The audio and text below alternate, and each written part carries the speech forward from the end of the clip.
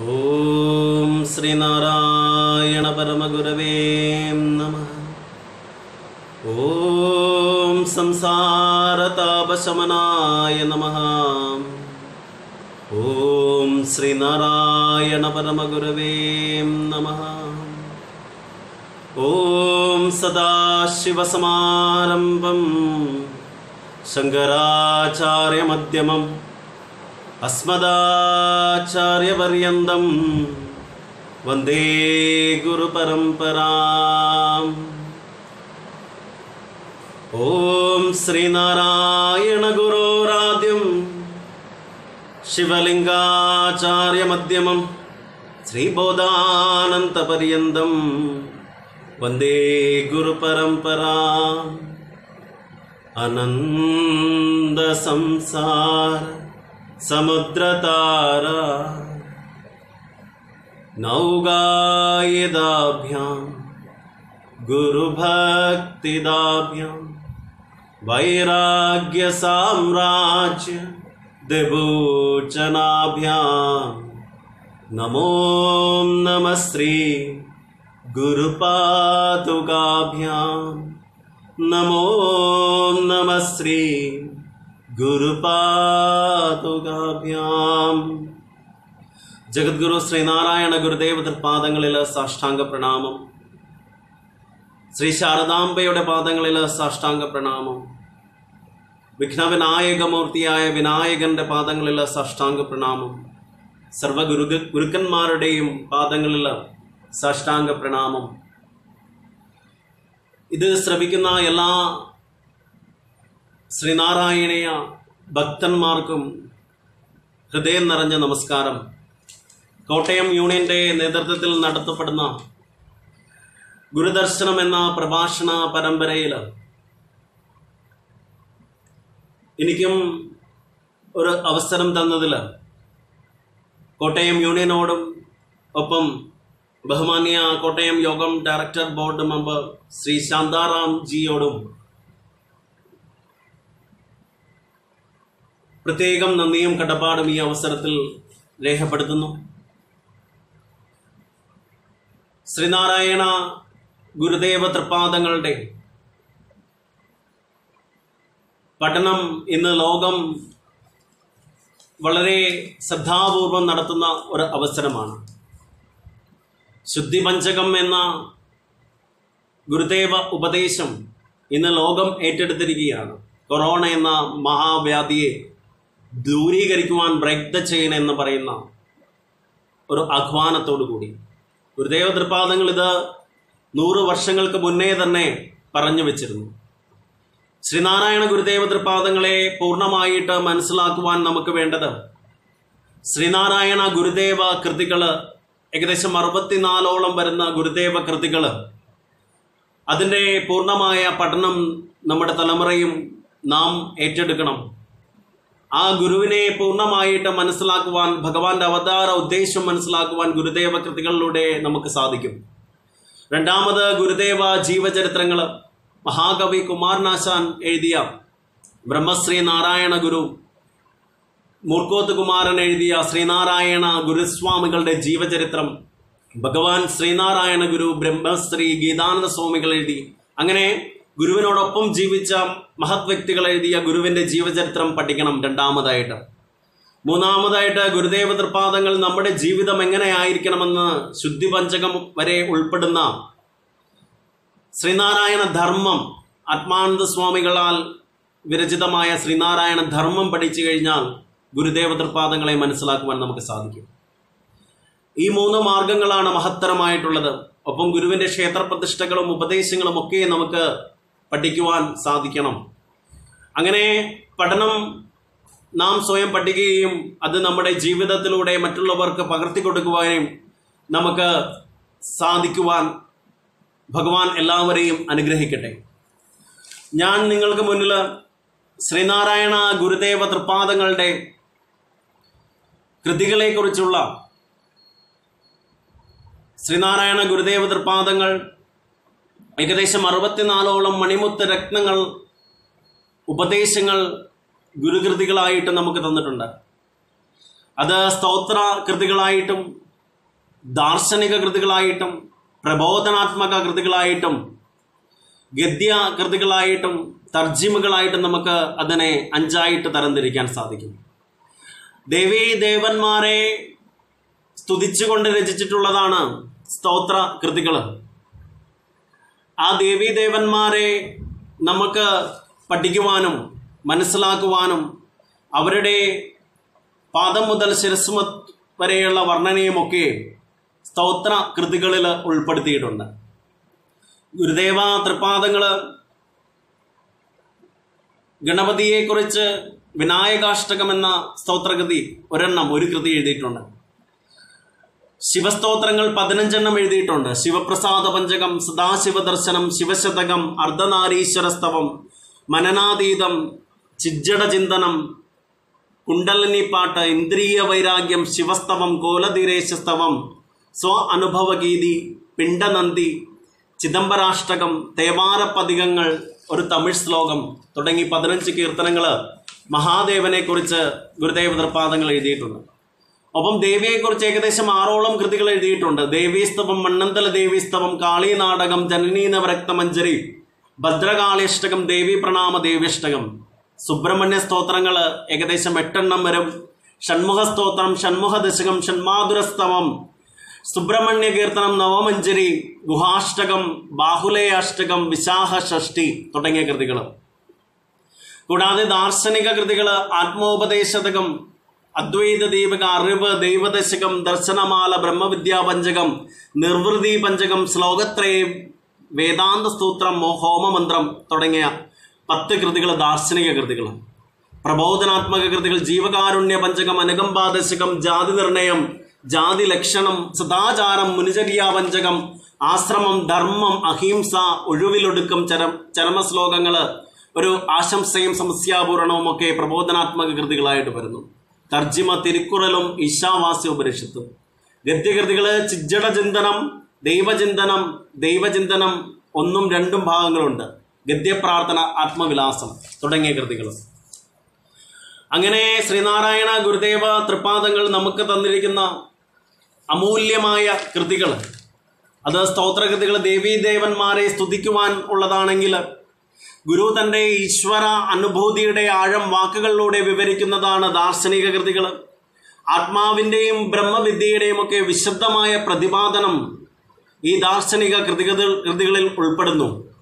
ഒപ്പം ഏതെങ്കിലും വിശേഷമായ ഒരാശയം വിശദീകരിച്ചുകൊണ്ട് പഠിതാവിൽ അതിന്റെ അനുരണനം ഉണ്ടാക്കുവാൻ ഉദ്ദേശിച്ചിട്ടുള്ളതാണ് പ്രബോധനാത്മക കൃതികൾ.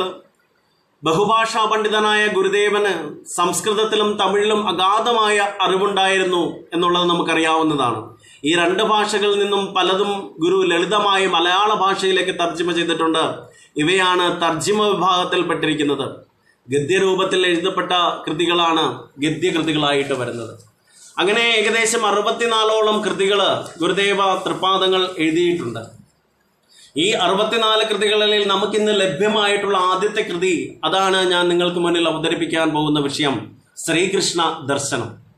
ശ്രീകൃഷ്ണ ദർശനം ശ്രീനാരായണ ഗുരുദേവ തൃപാദങ്ങൾ ആദ്യമായിട്ട് അനുഭവിച്ചറിയുന്ന ഈശ്വര സാക്ഷാത്കാരമാണ്. ആദ്യമായിട്ട് അനുഭവിച്ച ശ്രീകൃഷ്ണനെ കണ്ടുകൊണ്ട് ശ്രീകൃഷ്ണനോടൊപ്പം കളിച്ചുകൊണ്ട് ആ നിറമോലും പീലി നെറുകയിൽ ചൂടിയ ഭഗവാന്റെ കൂടെ നിന്നുകൊണ്ട് ഭഗവാനെ മനസ്സിലാക്കിക്കൊണ്ട് ഭഗവാന്റെ ഓടക്കുഴൽ നാദം കേട്ടുകൊണ്ട് ആ സുന്ദരമായ കൗസ്തുഭമണി രത്നം കണ്ടുകൊണ്ട് ഗുരുദേവ തൃപാദങ്ങൾ നമുക്ക് ശ്രീകൃഷ്ണ ദർശനം എന്ന ഗുരുവിന്റെ ആദ്യത്തെ ഈശ്വരീയ ദർശനമായ ശ്രീകൃഷ്ണ ഭഗവാന്റെ ദർശനത്തെ പഠിപ്പിച്ചു തരുന്നു. അത് നടക്കുന്നത് വാരണപ്പള്ളി തറവാട്ടിലാണ്.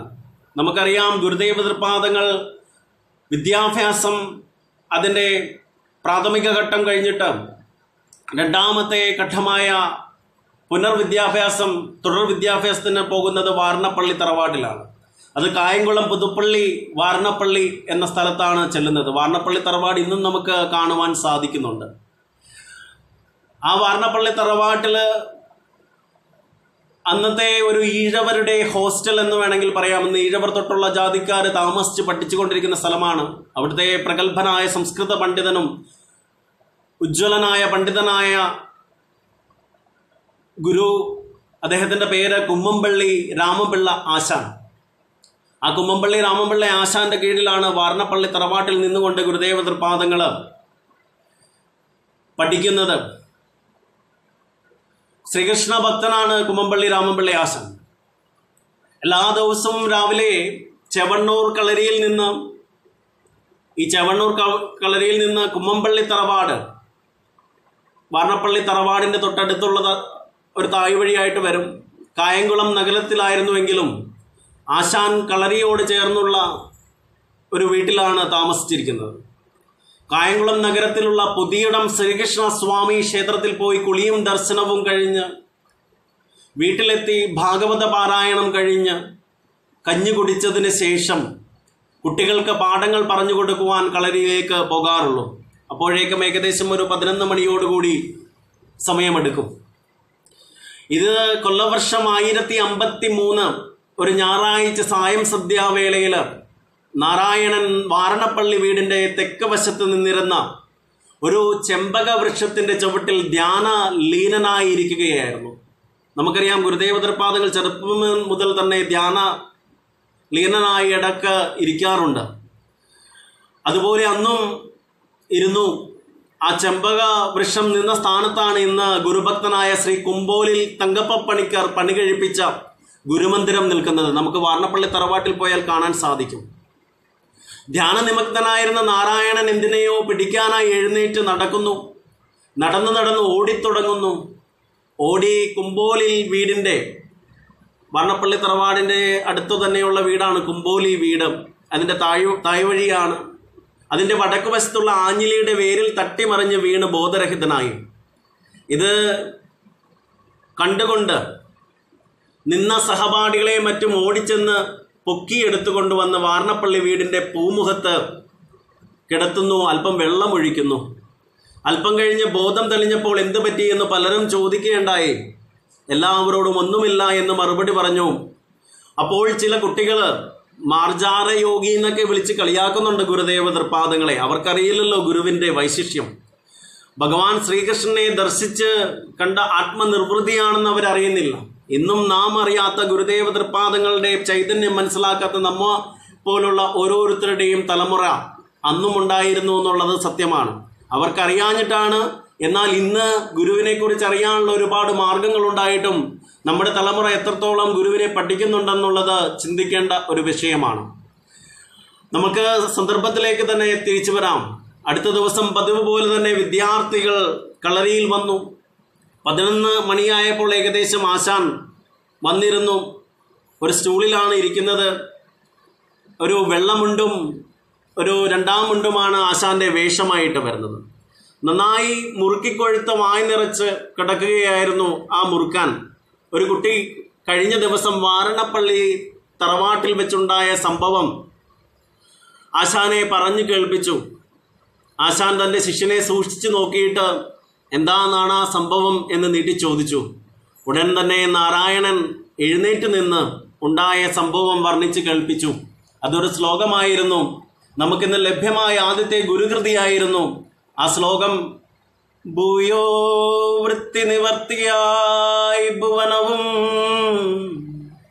സത്തിൽ തിരോഭൂതമായി പീയൂഷധ്വനലീനമായി ചുഴലവും ശോഭിച്ചു ദീപപ്രഭ. മായാമൂടുപടം തുറന്ന് മണിരംഗത്തിൽ പ്രകാശിക്കുമാ. കായാവിൻ മലർമേനി കൗസ്തുഭമണിഗ്രീവന്റെ ദിവ്യോത്സവം. ഭൂയോ വൃത്തി നിവൃത്തിയായി ഭുവനവും സത്തിൽ തിരോഭൂതമായി പീയുഷധ്വനിലീനമായി ചുഴലവും ശോഭിച്ചു ദീപപ്രഭ. മായാമൂടുപടം തുറന്ന മണിരംഗത്തിൽ പ്രകാശിക്കുമാ. കായാവിൻ മലർമേനി കൗസ്തുഭമണിഗ്രീവന്റെ ദിവ്യോത്സവം. ശ്രീകൃഷ്ണ ഭഗവാനെ കണ്ട് ഭഗവാന്റെ പുറകെ ഓടി ഭഗവാനെ തൊടുവാൻ ആശിച്ചുകൊണ്ട് ഓടി ആ ഭഗവാന്റെ സുന്ദര രൂപത്തെ അവിടെ സംഭവി സംഭവിച്ചത് എന്താണ് എന്നുള്ളത്? ഗുരുദേവ തൃപാദങ്ങൾ തന്റെ ആദ്യത്തെ ഗുരുദേവ കൃതികളിലൂടെ സംസ്കൃത കൃതിയിലൂടെ മഹാനായ കുമ്മമ്പള്ളി ആശാന്റെ മുമ്പിൽ അവതരിപ്പിക്കുകയാണ്. ആ മഹാ ദർശനമാണ് ശ്രീകൃഷ്ണ ദർശനം എന്ന കൃതി ഉൾപ്പെട്ട് ഉൾക്കൊള്ളുന്നത്.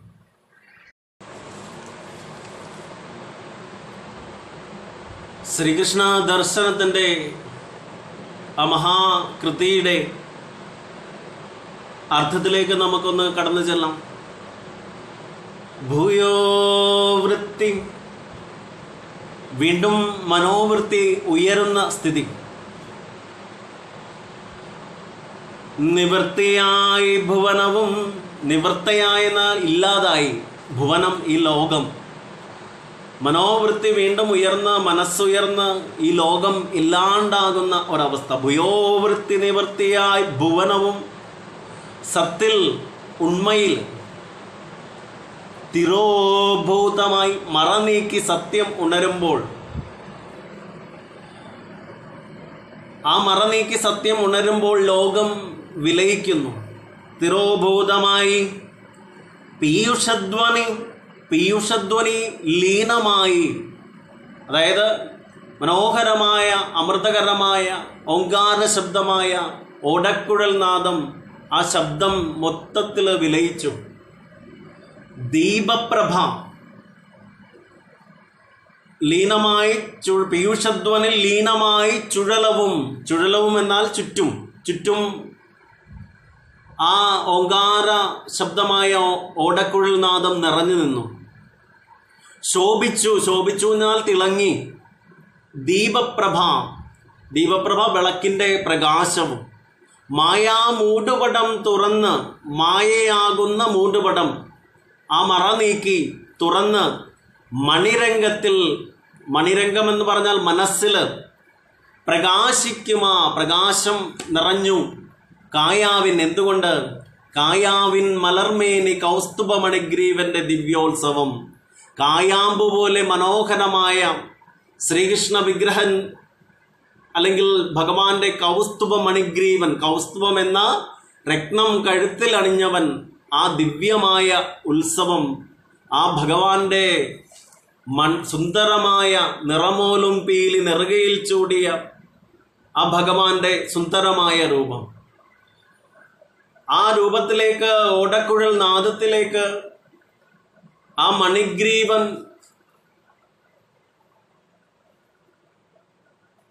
കൗസ്തുഭമണി തിളങ്ങി നിൽക്കുന്ന ശ്രീകൃഷ്ണ ഭഗവാനിലേക്ക് ശ്രീനാരായണ ഗുരുദേവ തൃപ്പാദങ്ങൾ ലയിച്ചു ചേരുകയാണ്.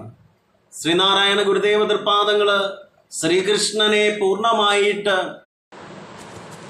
പഞ്ചേന്ദ്രിയങ്ങളെയും മനസ്സിനെയും നിഗ്രഹിച്ച് ബാഹ്യലോക ബന്ധങ്ങളിൽ നിന്ന് മോചിതനായി സർവവും സത്തായ ആത്മാവിൽ ലയിച്ചു ചേർന്ന് പ്രപഞ്ചവും ആ ആത്മസത്തയിൽ ലയിച്ച് അങ്ങനെ സർവവും ശാന്തമായപ്പോൾ ആത്മാനന്ദാമൃതരസം ഒഴുകുകയും ദിവ്യപ്രഭ എല്ലായിടവും പരക്കുകയും ചെയ്യുകയും ആ ദിവ്യമായ പ്രകാശത്താൽ മായയാലുള്ള ഇരുളുകൾ നീങ്ങി സർവദുഃഖ നിവാരകനായി പരമാനന്ദദായകനായി അന്തരംഗത്തിൽ പ്രകാശിക്കുന്ന ശ്രീകൃഷ്ണ പരമാത്മാവ് എഴുന്നള്ളുന്ന ആ മഹോത്സവ വർണനയായിരുന്നു അത്. ഭൂയോ വൃത്തി നിവൃത്തിയായി ഭുവനവും സത്തിൽ തിരോഭൂതമായി പീയൂഷധ്വന ലീനമായി ചുഴലവും ശോഭിച്ചു ദീപപ്രഭ. മായാമൂടുപടം തുറന്ന് മണിരംഗത്തിൽ പ്രകാശിക്കും ആ കായാവിൻ മലർമേനി കൗസ്തുഭ മണി ഗ്രീവന്റെ ദിവ്യോത്സവം എന്ന്. ഇത്രയും കേട്ട മാത്രയിൽ ആശാൻ ആ ഇരുന്ന ഇരിപ്പിടത്തിൽ നിന്ന് സ്റ്റൂളിൽ നിന്ന് എഴുന്നേറ്റ് ഭക്തി ശ്രദ്ധ ബഹുമാന വിനയങ്ങളോട് കൂപ്പുകൈകളോടെ അശ്രുകണങ്ങൾ പൊഴിച്ചുകൊണ്ട് നിന്നു. ഒപ്പം ആശ്ചര്യം കൊണ്ട് ആശാൻ അറിയാതെ തന്റെ വായ് പിളർന്നു പോകുന്നുണ്ട്.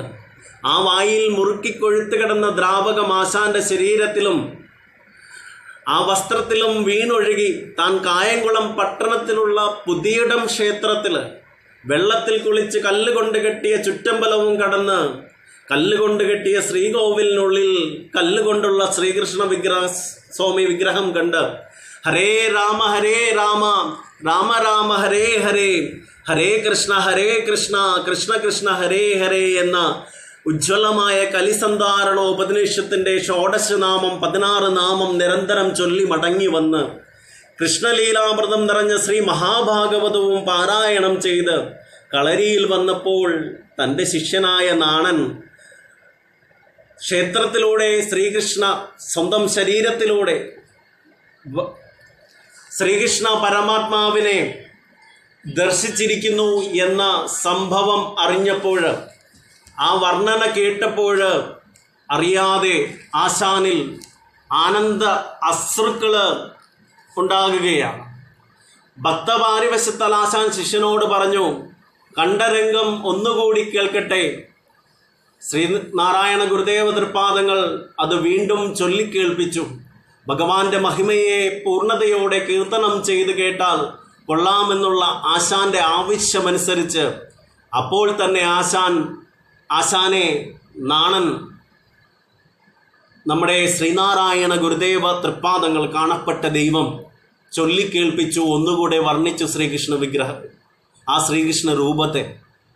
അതാണ് ശ്രീ വാസുദേവാഷ്ടകം ശ്രീ വാസുദേവ സരസീരുഹ പാഞ്ചജന്യ കൗമോദഗി ഭയ നിവാരണ ചക്രപാണേ ശ്രീവത്സ വത്സ സകലാമയ മൂലനാശിൻ ശ്രീഭൂപദേ ഹര ഹരേ സകലാമയം മേ गोविन्द वसुध गोगणपाललोला गोबीजनाङ्गकमनीय निजाङ्गसङ्ग गोवीजनाङ्गकमनीयनिजाङ्गसङ्गा गोदेवीवल्लभमहेश्वरमुख्यवन्त्यां श्रीभूपते हर हरे सगलामयं मे।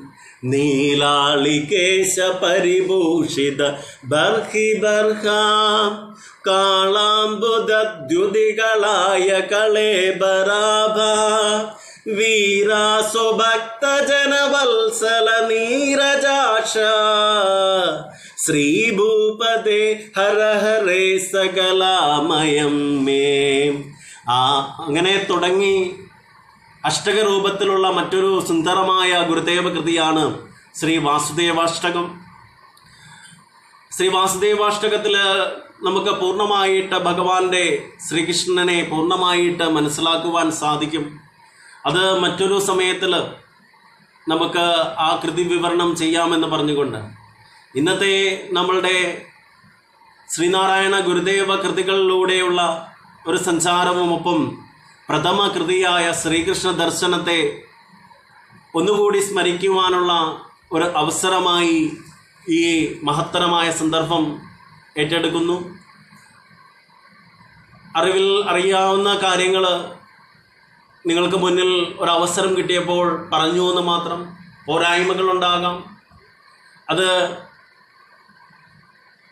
സദയം ക്ഷമിച്ചുകൊണ്ട് എന്തെങ്കിലും പോരായ്മകൾ എന്നിലുണ്ടായിട്ടുണ്ടെങ്കിൽ അതെന്റെ മാത്രം തെറ്റാണെന്ന് പറഞ്ഞുകൊണ്ട് എന്തെങ്കിലും നന്മകൾ നിങ്ങളിലേക്ക് ഈ അവസരത്തിൽ എനിക്ക് എത്തിക്കുവാൻ സാധിച്ചിട്ടുണ്ടെങ്കിൽ ശ്രീനാരായണ ഗുരുദേവ തൃപ്പാദങ്ങളുടെ അനുഗ്രഹം ഒന്നുകൊണ്ട് മാത്രമാണെന്ന് പറഞ്ഞുകൊണ്ട് ഈ മഹത്തരമായ പ്രഭാഷണ പരമ്പരയിൽ എനിക്കും ഒരു ഈ എളിയ ഗുരുഭക്തനും ഒരു അവസരം തന്നതിൽ കോട്ടയം യൂണിയനോടും വിശേഷാൽ ശ്രീ ശാന്താറാംജി അദ്ദേഹത്തിനോടും മഹത്വ്യക്തിയോടും ഇത് ശ്രവിക്കുന്ന നിങ്ങൾ ഓരോരുത്തർക്കും ഗുരുദേവ തൃപാദങ്ങളുടെ സർവവിധ ഐശ്വര്യ സമ്പൽ സമൃദ്ധി അനുഗ്രഹങ്ങൾ ഉണ്ടാകട്ടെ എന്ന് ഗുരുദേവ തൃപാദങ്ങളോട് പ്രാർത്ഥിച്ചുകൊണ്ട്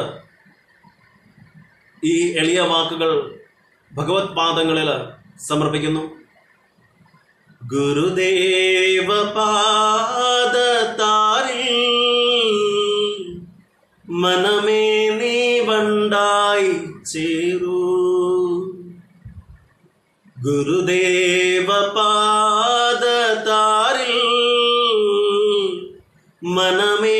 നീ വണ്ടായി ഭഗവാന്റെ പാദങ്ങളിലെ പുഷ്പങ്ങൾ അമൂല്യമായ കൃതികളിലേക്ക് നമ്മുടെ മനസ്സിനെ ഒരു വണ്ടായി ചേർത്ത് നിർത്തുവാൻ നിങ്ങൾക്ക് ഏവർക്കും സാധിക്കട്ടെ എന്ന് പ്രാർത്ഥിച്ചുകൊണ്ട് നിർത്തുന്നു. നന്ദി നമസ്കാരം.